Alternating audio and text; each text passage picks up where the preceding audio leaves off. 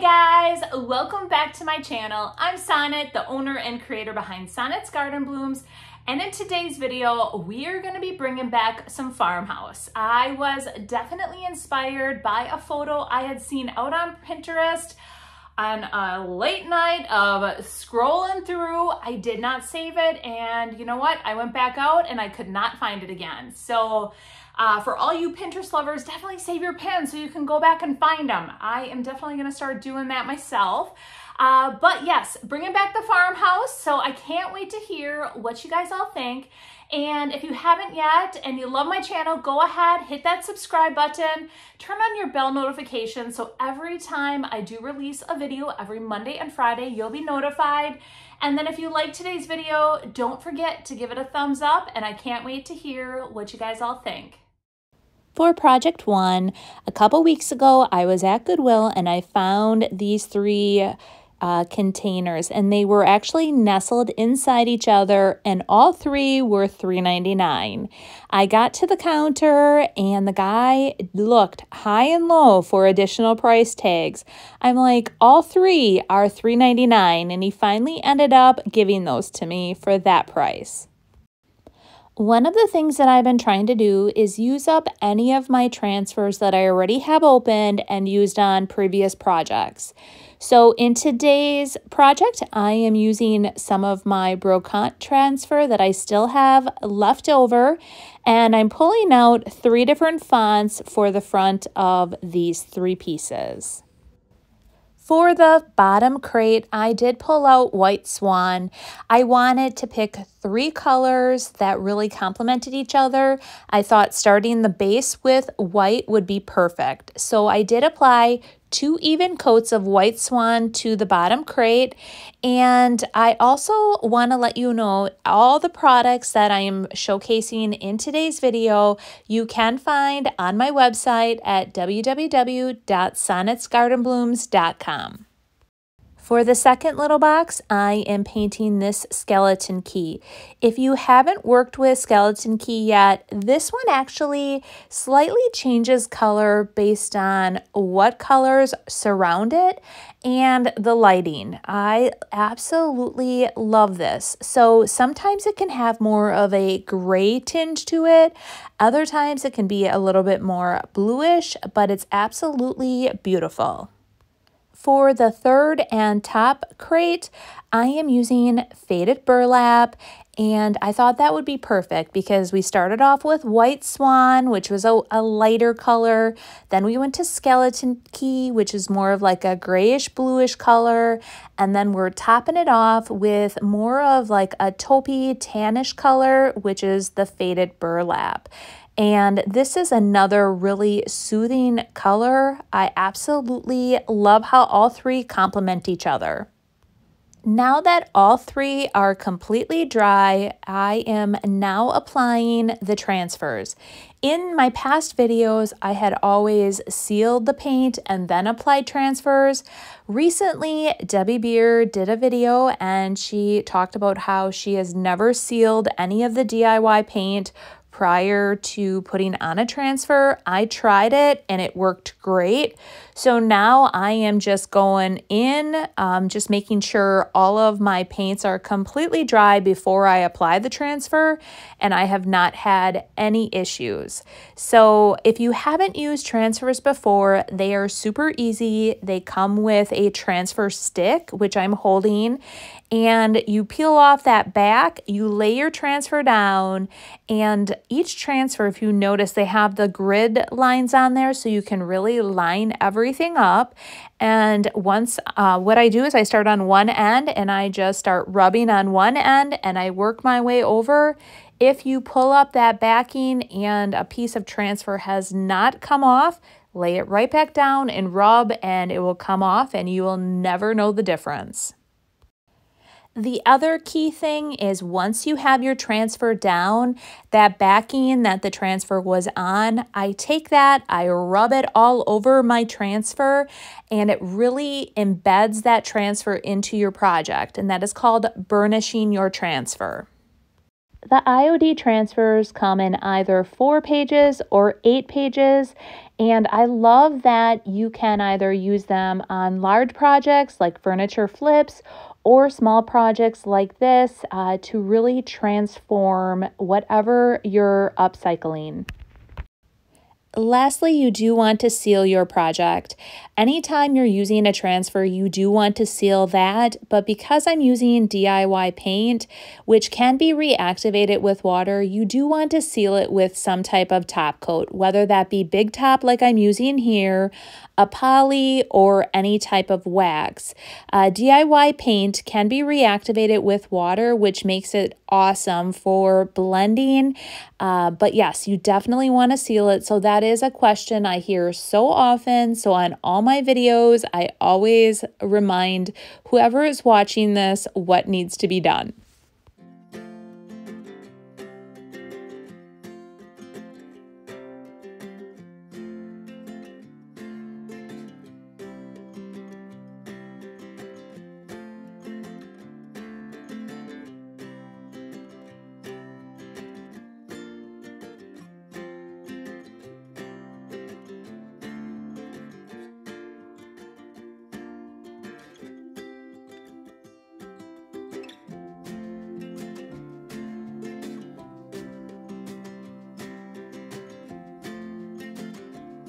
For project two, I am using Roy Roycycles decoupage paper called Sheep.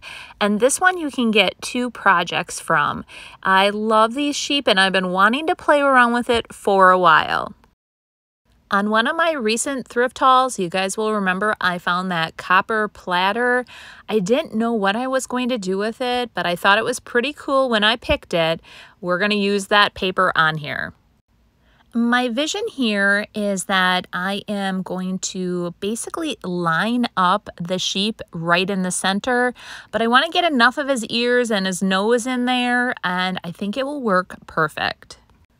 For the first step, I am applying two even coats of White Swan to the platter. I do hear often, well, you don't have to have a white base, and that is absolutely correct by having a white base to start off with, you are making your decoupage paper absolutely pop. So if I wanted it to be more subdued, yes, I could just leave it the copper color and it would be fine.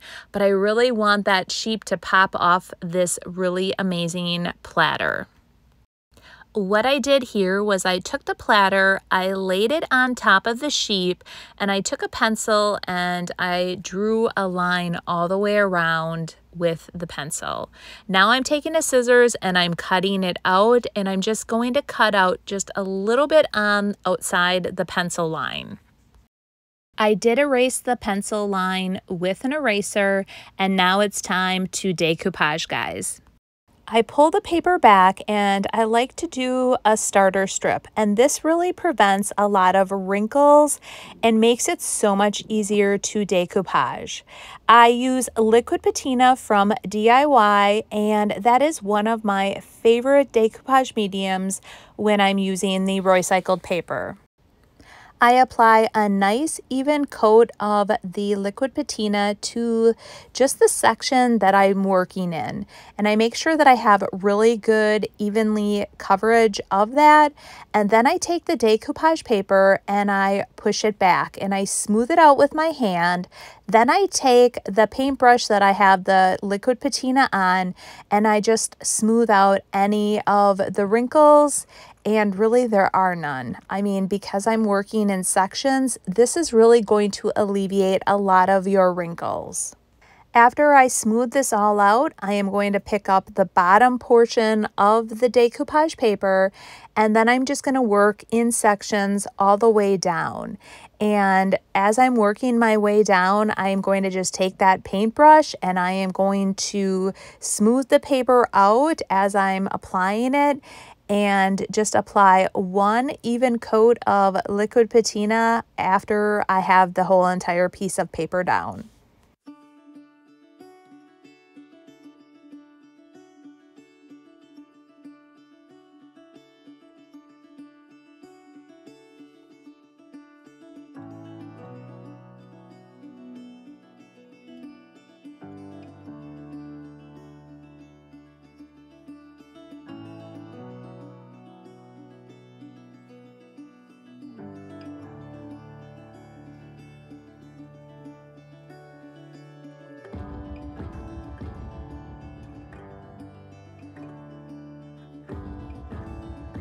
For project three, while I was up north thrifting, I did find these candlesticks. I loved how they were really chunky and candlesticks go over really well in my booth. Unfortunately, I did not like the color. So I am using this two times Rust-Oleum spray paint and I'm applying just two even coats of the spray paint to the entire piece letting it dry very thoroughly, and then we're going to apply some DIY paint. For the candlesticks, I decided to use faded burlap. If you remember in project one, the top crate had faded burlap as the color of choice. Anytime I am doing flips, I always am thinking consciously of creating mini vignettes. I am putting all of these items in my booths, so I do want to think of color combinations, creating vignettes, and I don't want to randomly just pick colors. So that is why I chose uh, faded burlap for these, and I think it's going to be a great choice. I did apply two even coats to this candlestick or to both of the candlesticks. I'm going to let them dry very thoroughly and then we're going to come back and I am going to show you what I'm going to do next. I love wet distressing the DIY paint. You can definitely use like sandpaper as well, but by wet distressing, you are alleviating a lot of dust. Plus, you have a little bit more control over your um, amount of distressing that you're putting on. And sometimes when you're using sandpaper, the black can actually be distressed as well. So I wanted the black to show through. So I am just randomly taking my wet rag and just going over all of the raised areas. This has been a very popular look in my booths. So the candlesticks typically sell pretty quick. Now that they're completely dry after the wet distressing, I am sealing them with Big Top.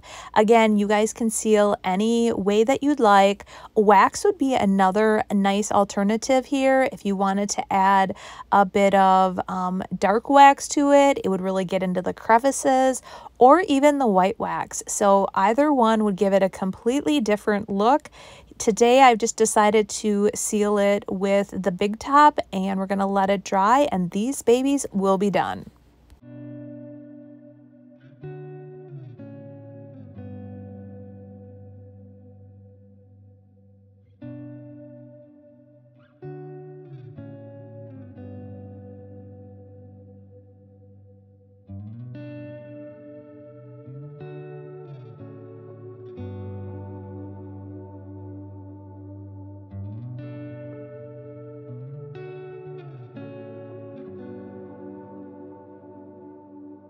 For project four, guys, this is going to be a super simple flip. I went into my stash of goodies and I had this crock in there. I love the design on it, but I'm not in love with the color. So we're going to break out the new DIY paint called Crockery.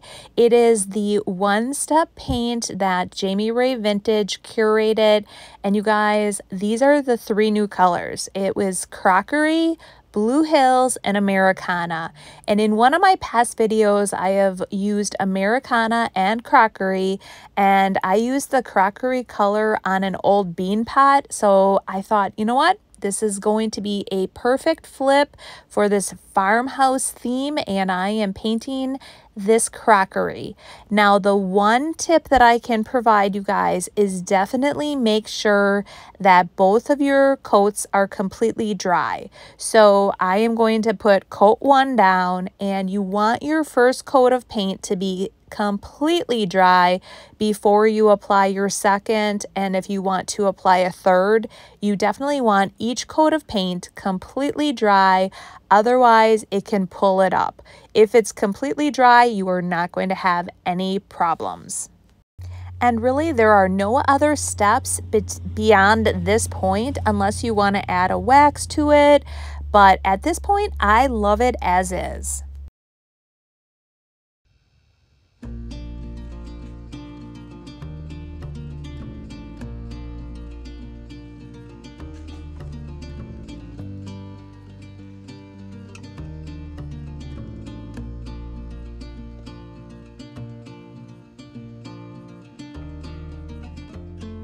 Fifth and final project, I actually thrifted this quite some time ago and it was sitting in my stash.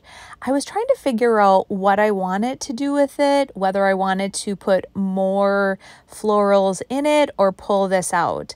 I decided to pull it out and you can see that it created um, it ripped off some of the paint. So I took white swan and I did paint the very bottom of the crate and it blended perfectly.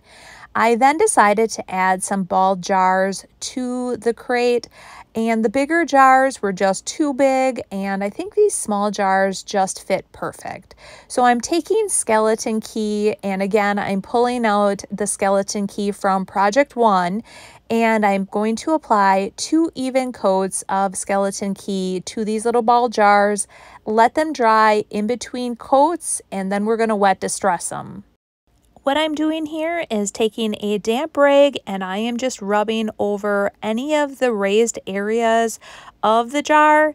And once I do that, I am going to then let these dry very thoroughly and then we're going to seal them.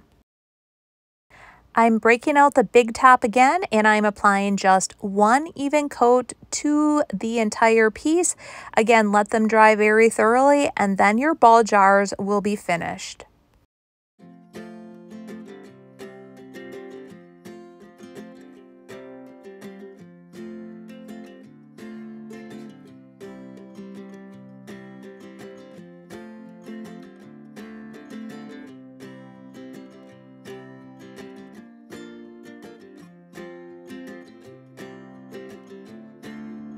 You guys know how much I love color, uh, but I did love this week's video because it was all natural colors. It was so soothing. Uh, I really had a lot of fun playing around with more muted tones and uh, I hope you guys enjoyed it and got some great inspiration uh, to try this in, you know, one of your own projects. So um, I love the color palette for this week and I also have another fun palette of colors for Monday's video as well. So as you guys are watching this, I'm already up north. Um, so I'm wrapping this up right before I leave. Um, just call me last minute Lucy or Lizzie or whatever. I, I'm just trying to wrap everything up so you guys have a video for Friday and Monday. Um, but yes, I am going to be in the Northwoods of Wisconsin, just enjoying being up there. Unfortunately, no internet. Um, gulp. Uh, I don't know what I'm going to do with myself. I'm always feeling like I'm scrolling. So actually, I'm just going to relax and just enjoy the time with my family and friends. And I hope you guys have yourselves a happy and safe 4th as well. And we will see you guys in Monday's video. Bye.